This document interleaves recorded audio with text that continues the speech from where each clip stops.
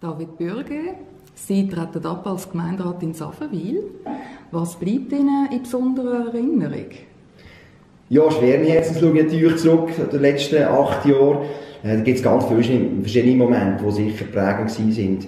Da gibt es nicht speziell etwas rausschälen, aber sicher so im 1. Januar, wo wir uns getroffen haben, Neujahrsapero, äh, wo mit der Bevölkerung im Dialog war, äh, können auf die Durchführung gehen, sicher äh, da, wo man bleibt.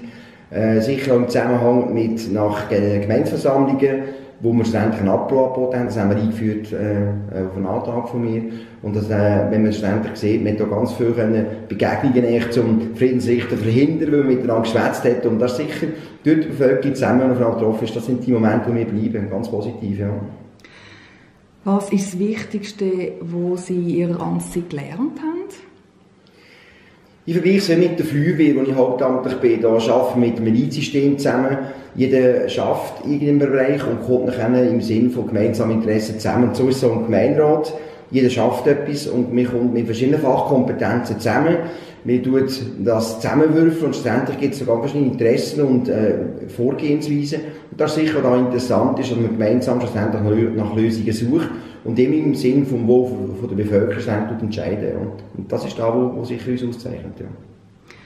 Und was wünschen Sie Saffenwil für die Zukunft?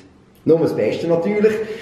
Ja, vielleicht in zwei Bereichen. Das eine ist äh, Bevölkerung. Ich wünsche mir von der Bevölkerung, dass sie nach wie vor äh, ihre Interessen, ihre äh, Wünsche einbringen. Das kann an einer Gemeindeversammlung sein, das kann aber auch im Dialog sein zum Gemeinderat, äh, um Sachen auch kämpfen, wirklich auch die Demokratie spielen. An einer Gemeindeversammlung kommen so, das würde mir sehr äh, gefallen.